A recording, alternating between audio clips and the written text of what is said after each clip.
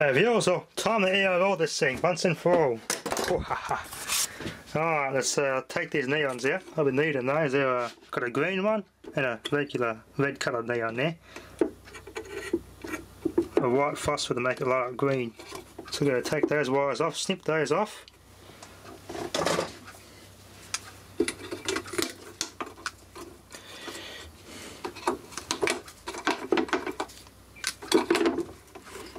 One there, there's another one in here. There you go, the ones are out. Keep those. And just rewire it and we can start uh, having some fun. Okay, viewers, sort of funny how to get how to get this wire through there. I've concluded if this is going to get hot, this wire's going to melt through and trip the breaker. So I'm going to have to find a way of protecting this wire from getting burnt. So, but they're hooked up the right way, how I want it to go. So let's try and find a way to stop this wire, to protect this wire from getting melted. I managed to run the extra neutral wire through there. So one's got active and neutral already there. The other one had to run another wire to get the neutral on this other um, heating element. So let's do a couple of pre-checks, make sure everything is good. So I'll set the multimeter here to uh, continuity. Start with earth. Yep, earth to active. No short. No leakage to earth. Heating elements aren't shorted, but they're not open either.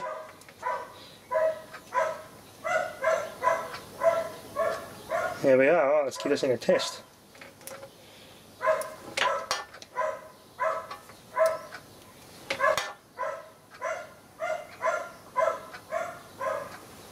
Okay.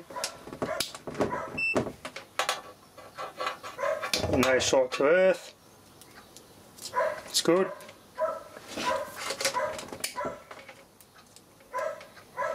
No short there. No short there. No short there. Alright. Good to go. Let's pop this thing. Test time. I've got 31. Hang on. Hang on, hang on, hang on, hang on, hang on. Right, one of my wires must have come disconnected somewhere. Shit, gotta check that. Can't do it in one piece, I'll just connect the wires to one element at a time and see what happens. Yeah, um, I think this is going to get so hot that this insulation is not going to hold up anyway. Just got to short out as soon as it melts. I think pulling it apart and connecting the wires directly like that and running them away from the element might be a better way of uh, doing it, I think. That way it gets a better chance to burn out. Yeah, also, its heating elements are okay. Turns out this crappy wiring has a break in it somewhere. Why it wasn't working, so let's do it this way instead. I think it'd be safer because yeah, that would have got hot, the original wiring, how it was already configured, would have um, melted through and tripped the old breaker straight away, so I'll give it the best chance possible. So it's on the longest by elevating and protecting the wire from getting cooked, so heat bricks off earth, don't need to connect the earth when you're killing something, so safety first, we'll uh, do all our checks and we can plug this thing in and pop it. Safety checks have been done, what I've done, I put a heat brick above between that uh, garden as a barrier between the uh, heating element and that um, wiring so it doesn't melt. Earth's pointing up, everything's connected so we can kill it. Let's plug this thing in. Alright, see how much in uh, yeah, the set of bears, but I'll just tell you. 51. Oh yeah, 20 amps. Yeah, just pulling some current. Look at that BAZ fly. Holy hell.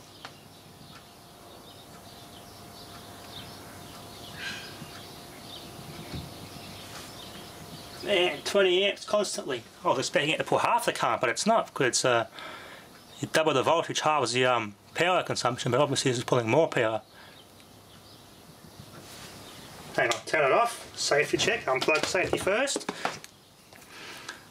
Let's um, see if it actually is getting hot or it's partially shorted. Oh yeah, it's getting hot. Yeah, it's getting hot there. It's pulling a bit more power than I anticipated. This might take a while to kill actually. I think I'm going to have to get myself a step-up transformer from somewhere.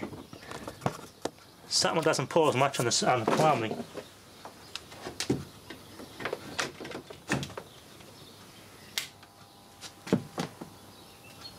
Then again, there's some ammeter's not accurate.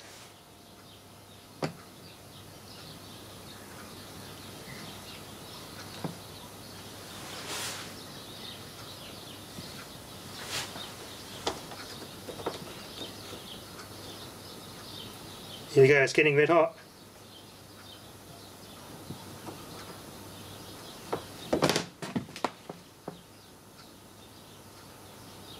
Look at that BAZ go.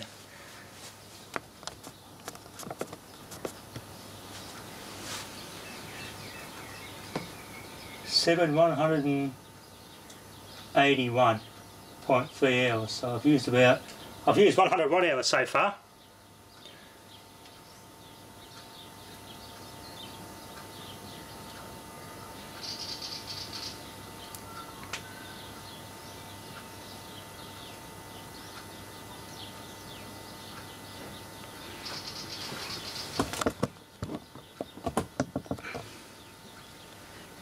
Hmm, that's one. Toasty sandwich press.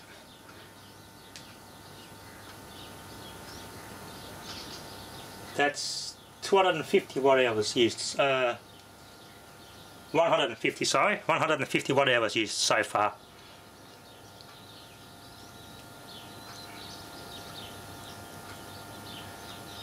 Hmm, smell the Teflon burning off that thing.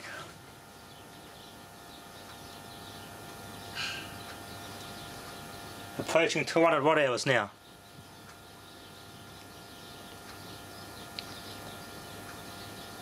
Man, it's a tough one. Not bad effort for 120 volt element. That's 200 watt hours used so far. Oh, power off. Oh yeah. Damn. That's enough for now. I think I'm gonna have to um Gee, I need stronger wiring. Yeah, it's, uh, the uh, little extension cord here, going from the shed of the caravan, is starting to get warm, so time to shut down. Yeah, not let it get any warmer than that. That's only a 10 amp cord. I'm going to have to upgrade that wire if I'm to burn this thing out, so everything's unplugged. I just checked everything behind here is okay.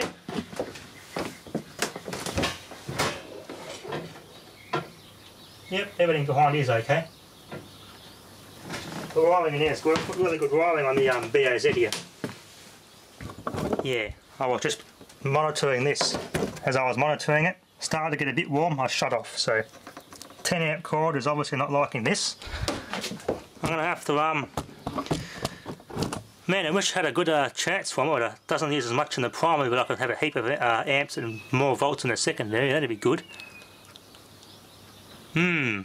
This thing is proving tougher than I bloody thought. Anyway, I think that's going to have to be enough for now, viewers.